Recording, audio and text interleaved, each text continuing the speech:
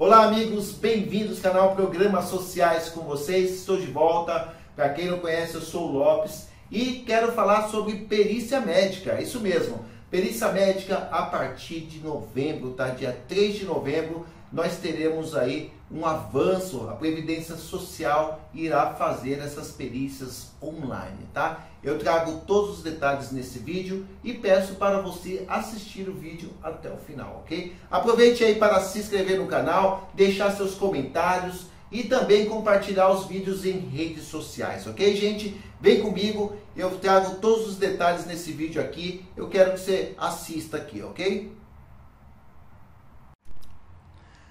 Bom, pessoal, a Previdência confirma a perícia médica online para 3 de novembro, tá? Só que nós temos um projeto piloto, tá? Onde ele será é, implantado a partir do dia 3 de novembro, tá? A Secretaria Especial de Previdência e Trabalho confirma né, é, essa data, né? Que é dia 3 de novembro, para o início desse projeto e para realizar aí perícias médicas do INSS online, tá? Com isso, segurados que precisam aí do auxílio doença não precisarão ir até uma agência previdenciária para fazer exame médico e garantir o seu benefício, tá? Em nota aí, a Subsecretaria de Perícia Médica Federal e o INSS estão trabalhando para desenvolver todos os procedimentos desse projeto piloto e colocar em atividade a partir do dia 3 de novembro, ok? Então nós temos aí um projeto